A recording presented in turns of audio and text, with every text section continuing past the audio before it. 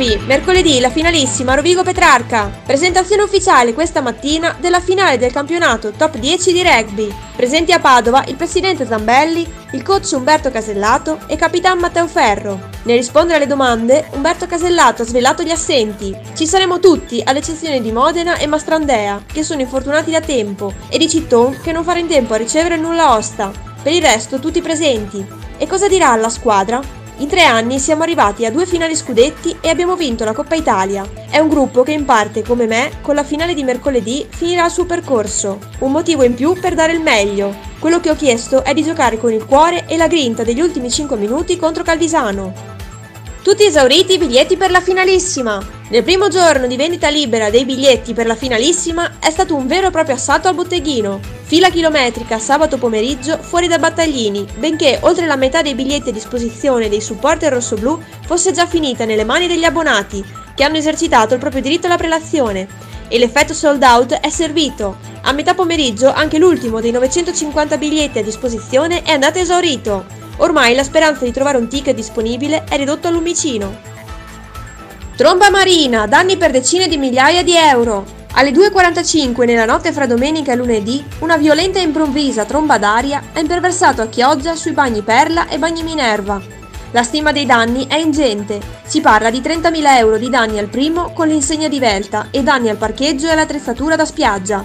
Per i bagni Minerva invece i danni potrebbero raggiungere i 50.000 euro. 21 camerini nuovi sono infatti andati distrutti, oltre ai danni al parcheggio e agli ombrelloni. Gli operatori fin dalle prime ore del mattino si sono rimboccati le maniche per sistemare tutto, tanto che gli stabilimenti sono comunque funzionati regolarmente.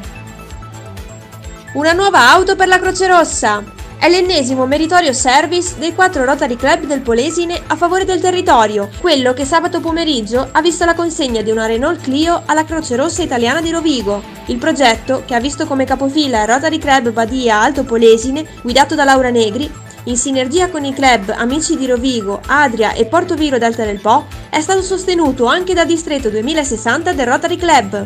La consegna è avvenuta in piazza Vittoria Rovigo, alla presenza del presidente della Croce Rossa Italiana di Rovigo, Alberto Indani, i tantissimi volontari della Croce Rossa, i presidenti dei club polesani e i componenti del Rotary Club Badia Alto Polesine, Andrea Mercusa e Stefania Turazzi, curatori del progetto, insieme all'assistente del governatore Franco Gobbi.